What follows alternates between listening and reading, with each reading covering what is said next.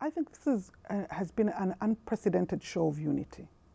I mean, it's one of those things that has really galvanized the NTD community into action. We've always known that the fight, you know, fighting against these NTDs is the right thing to do. It's the good thing, it's the best thing to do, and fighting against them in an integrated manner is even better. And I think what the London Declaration has been able to do is allowed us to now say it can actually happen. It can actually be a reality. I think for the NTD community as a whole, this is a major high. I, I think this is really the tipping point for the, for, for the NTD um, agenda.